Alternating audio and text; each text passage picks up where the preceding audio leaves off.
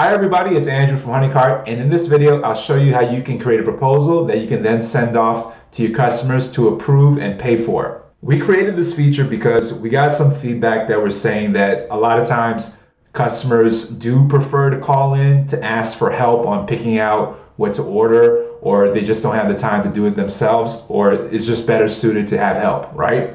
So we wanted to make this as simple as possible for you to just kind of just create the order like you would if you were doing it as a staff user and then send that off in an email with a link for them to go and pay for it if they approve it. So the first thing you want to do is just click on the create order button. It's going to be the same exact flow as you are going as you would create a normal order. So click on that.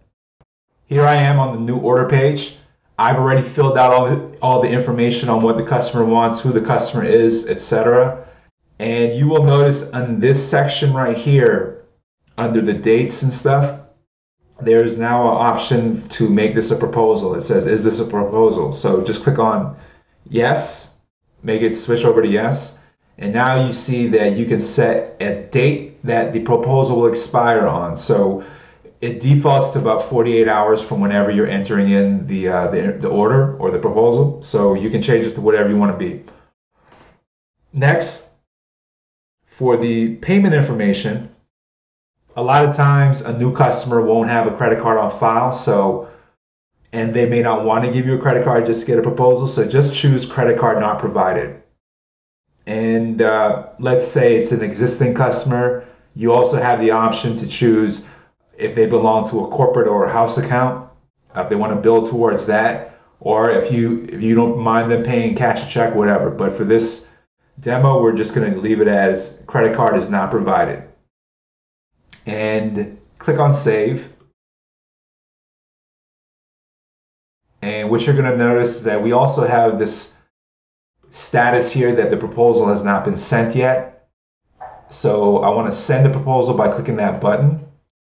And the customer's information is going to be pre, uh, the email is preloaded here. So just click send. And now you see it gets changed to sent. And I will now pull up the proposal email that they get so you can see what that looks like. One second.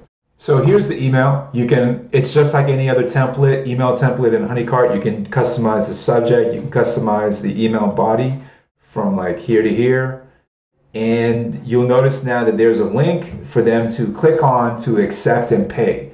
So once the customer clicks that, they'll be able to go to a page and enter a credit card information. One second. So this is what the customer is going to see. Now, if they were an existing customer, they could click on this sign in link. And once they sign in, this is going to change and load in all their pre-saved credit card information that they can choose from. But here, I'm going to pretend I'm a new customer and I have a fake credit card that I always use for these videos.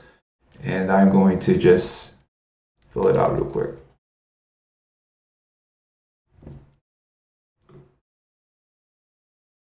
And this is the same policy message they would see on your, your normal checkout. We just show it here again because if it's, you know, got the same policy, they, they're going to want to know when the card is going to be charged. So just click on accept proposal. It's going to add this credit card to their account and it's going to change the proposal into an actual order. One second while this thing is finishing up. So you see that it's been changed to a real order. This is the event date, all that stuff. So I'm going to go back to my, you know, my admin, my staff account right here. Uh, refresh it. And now you see that instead of being a proposal, it is now a new order, which also means you're going to get all those email confirmations that come in when you get a new order. So that's about it. If you have any questions, please let us know at info at gethoneycart.com. Thanks.